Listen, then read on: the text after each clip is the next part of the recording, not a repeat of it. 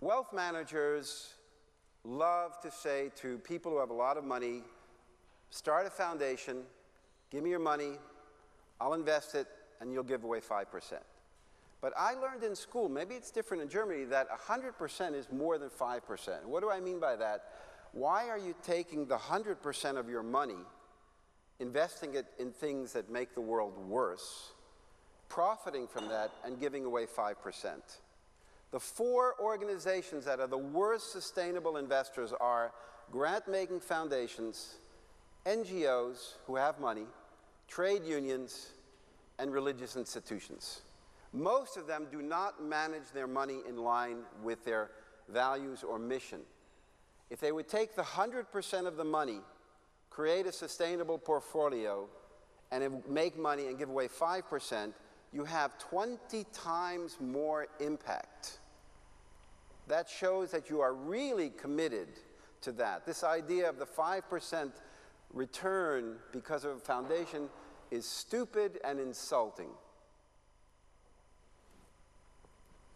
For the opportunities that you have, utopia.de, which is what you hear for today, investor salons, clean energy project finance, green real estate, green mortgages with power tie-in. You have that already here, but not so much linked to green mortgages.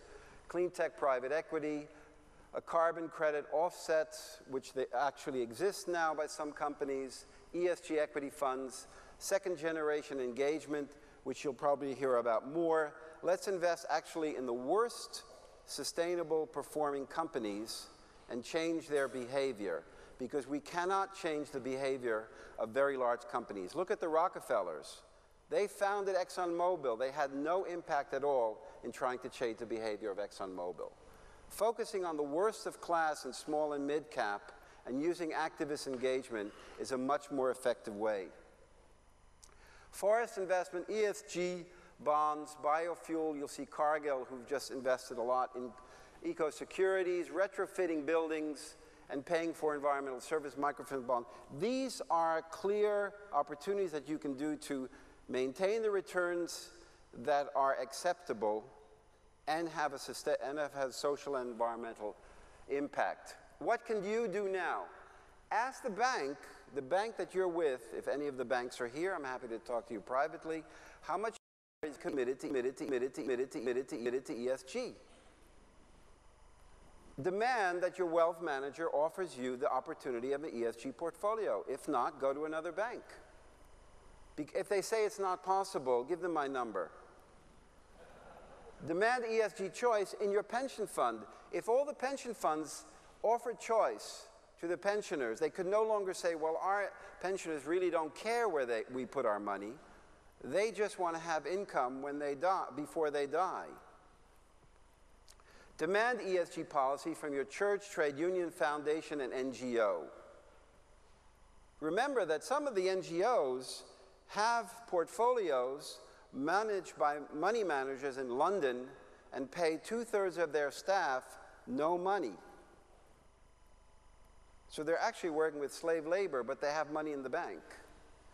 So at least manage that money in line with their values. Ask for SRI investment from banks and pension funds. Align the values with your employer. If your employer is not in line with your values, what the hell are you doing there? Either change the company or go to another one. Ask the financial sector for environmental and risk policy. Demand that. That's how you get change. They listen to customers. Invest in sustainable enterprise.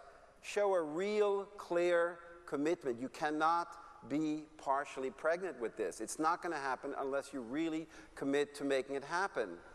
And uh, tikkun olam, let's repair the earth.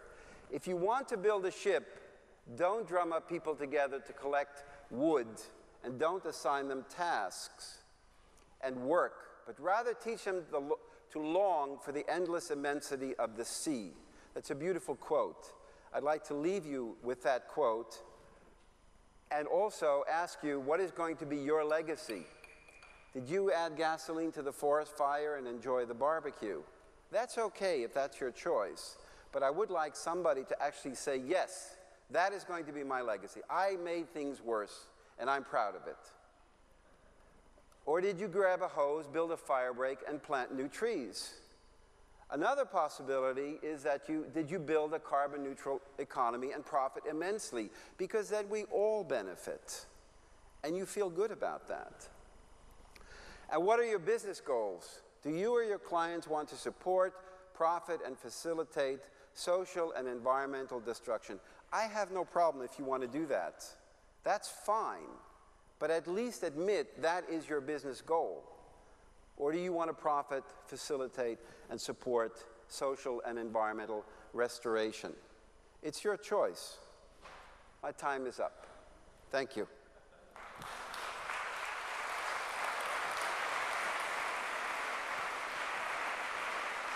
Mr. Rubinstein, thank you. May I ask you a quick question? We had You can ask me a slow question too. I Can ask a slow question too? Um, we had quite a few questions coming in and the desire from the audience to ask questions. I have one for you. Do you see any sort of positive aspects in the actual global financial crisis? Only. I only see positive aspects. I think this is the best thing that ever happened to us. For 25 years, we've been on this eating binge of overeating and overconsuming for 25 years, eating foie gras and cristal and, and sweets and putting on way too much weight, unhealthy, and now we have to go on a diet. Is that so terrible? I don't think so. Yeah. I, I, think we don't think so either, but we wanted to know no, what you I think, think about it. I th and I think it's the best leverage and the best trigger for the policymakers to embrace the concept of a Green New Deal.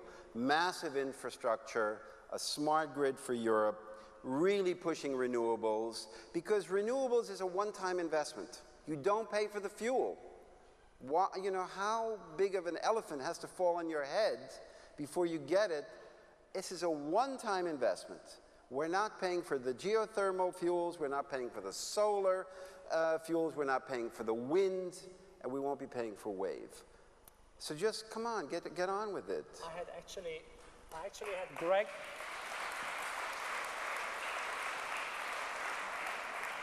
I had Greg Craven coming to me during the lunch break.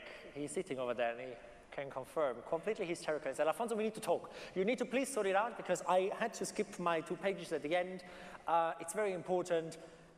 You need to tell them that if they look at the financial crisis, how quick it all went down, and then suddenly how awake everyone got up of it, if we see that development and we portray it to whatever we are trying to achieve here today, we don't need to let it come to that point where suddenly everything really collapses because then he believes, and I believe, and I think you do too, it's going to be too late.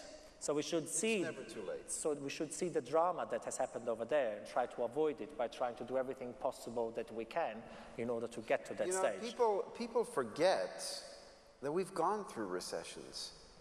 You know, it's not like, oh my God, there's a recession coming on. How are we going to survive? We've gone through a lot of recessions. We've gone through the Depression. The difference is we're much smarter now. There's much more money available.